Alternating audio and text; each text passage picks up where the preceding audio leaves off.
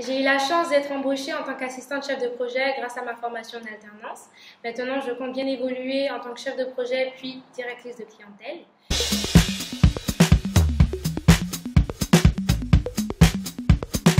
Bonjour, je m'appelle Donna Morange, j'ai 24 ans.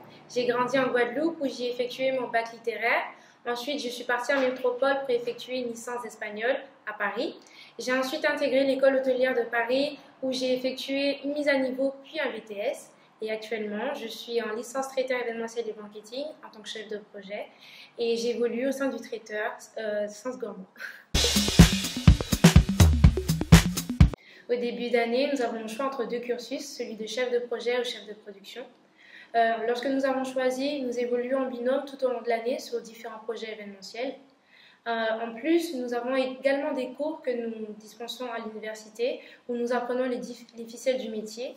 Ces cours sont agrémentés par quelques interventions de professionnels.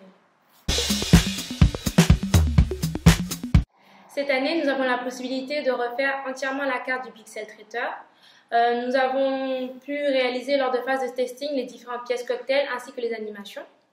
Il faut également savoir que le son du relationnel est très important car nous sommes continuellement en contact avec le client. Lors d'un événement, nous avons eu un problème de livraison et par conséquent, nous avons dû faire appel à un autre traiteur qui nous a fourni un pièce cocktail et grâce à ça, nous avons pu mener à bien notre événement.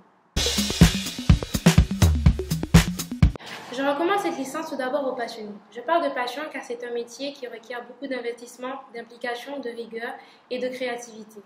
De plus, vous bénéficierez d'une formation complète, à la fois au niveau professionnel que théorique.